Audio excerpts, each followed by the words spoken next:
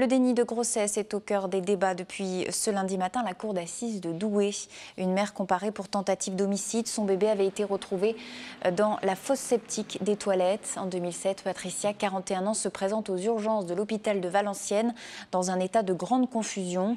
Dépêchée à son domicile, les pompiers récupèrent le nouveau-né toujours vivant.